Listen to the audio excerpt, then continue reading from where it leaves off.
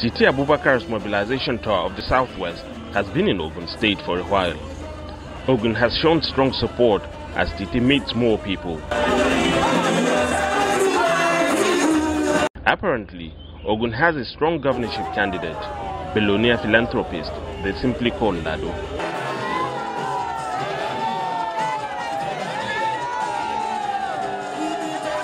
The deputy governorship candidate, a princess and strong religious leader.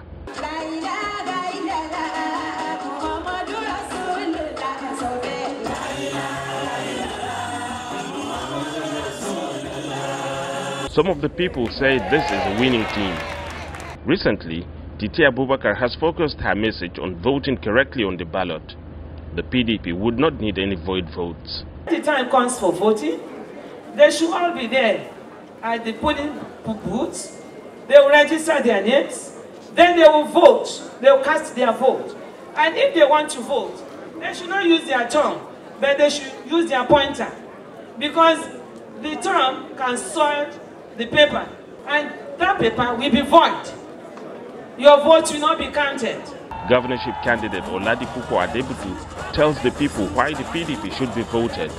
He accuses the ruling government of dividing the country and ruining the economy, allegations the APC government has been denying. ní ọjọ́ tí gbogbo leadership ọ̀gá ọlọ́pàá àwùsá ọ̀gá army àwùsá ọ̀gá dss àwùsá ọ̀gá mi ò gbọ́. Ọ̀gá inec. We want a united country. We deserve a united country. He supports that Atiku can make Nigeria work again. Your rights will not be trampled. Your businesses will be protected. Your assets will be protected. Everybody will come back. When everybody comes back, and we're all pushing and pulling in unison, we will get a successful nation again. That economy will start moving again. When that economy starts moving again, those jobs will come back. We are going to bring jobs back to this country. We are going to bring jobs back to this state. In Ponti Atiku Abubakar Sofwani, let's go Nigeria working again.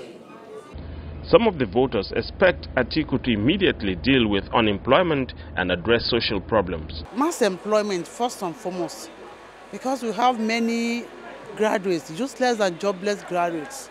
Imagine the money the parents spent on these people to send them to most expensive university. At the end of the day, they are home doing nothing. So if they can consider that one first and woman empowerment, then I think they are going to be the best for us.